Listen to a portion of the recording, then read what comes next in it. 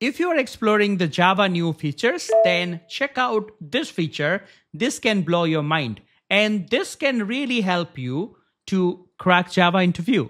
So imagine you have a class called student and you have a couple of variables called ID and name. Now, how do we initialize these variables? Obviously, we need to create a constructor.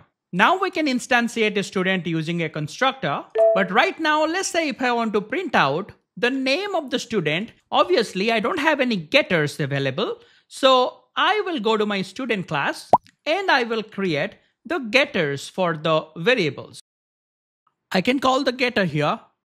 And now if I'm going to run this, I get the name printed. Let's say if I want to print the entire student reference, this is going to print the hashCode representation of the student object. But let's say if I want to print the content, then again I have to go to the student class and here I have to create the toString method. And now if I'm going to run the same class, I got the content printed instead of the reference. Now let's say if I have a student and if I have a copy of the same student, and right now if I want to check whether two of these objects are equal by doing student1 equals student2, then this is going to print false because it is comparing the object references, not the content that I have over here.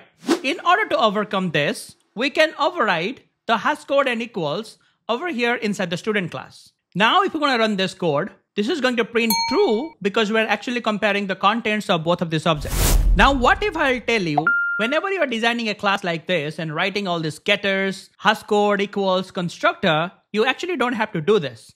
If you are going to use the Java new feature, which is Java records, you can simply remove all this thing and can convert this class to a special class called record and define your variables inside this parenthesis. Something like this.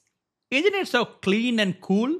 And see the beauty of this. If you're going to run the same code to check the equality between this couple of students, it returns true because we by default get the hashCode and equals overridden in the record. Just like that, our constructor works. So the constructors are also auto-generated in order to initialize the variables that we have inside the record. And not only that, let's say from the student one, I want to access the name, then I can simply call the name method over here in order to get the name. Or I can simply call the ID over here to get the ID.